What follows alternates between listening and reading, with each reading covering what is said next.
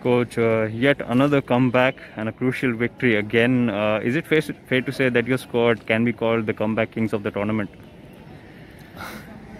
Uh, you know, first of all, we should not be giving away goals. If you see both the goals, it's because of B being relaxed.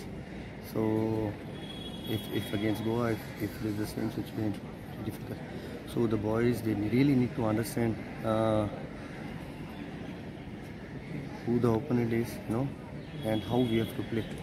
You know, we need to be, we need to be more organized. We need to be more. Uh, you need to respect your opponents. That's that's very important. So getting relaxed, that shows you know you're not you're not doing that. So it's very important. It's very important that you know we stay focused and play the way we want to not the way the opponent want us to play. Coach, uh, you face FC Goa next, and uh, today there were a couple of misses. Uh, are you concerned about that? Of course. Now, uh, if you if you see the last game we played against Navy, the opponent was a bit tougher than what we had today, and the boys also matched the expectation. You know, they, they did really well.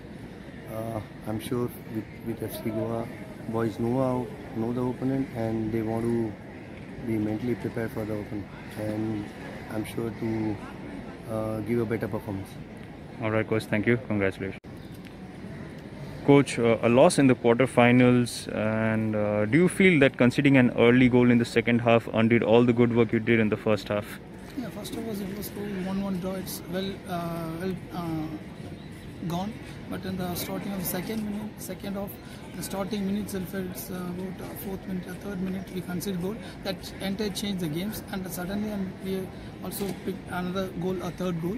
So it's the total uh, total game changed to them, and uh, we came back later, but it was too late to uh, get the second goal. If it was uh, uh, around another 10 more minutes, we could have equalized, and, and then the games will be the equal, I think.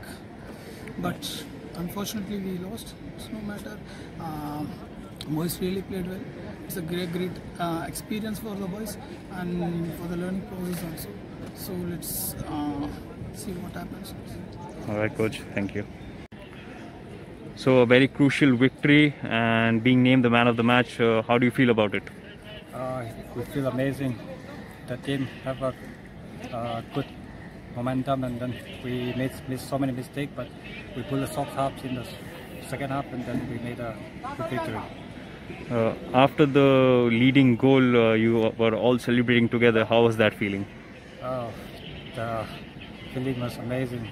Just that we are on the lead and then like we feel that we are leading the game and then we'll win the game. Uh, up next, uh, you're facing FC Goa, uh, a big team. Uh, what are your plans? Uh, we'll plan according to the coach and then we'll, uh, we'll come back better. All right, congratulations. Thank you. Thanks for watching. Please like and subscribe to our channel and click the bell icon to get new video updates.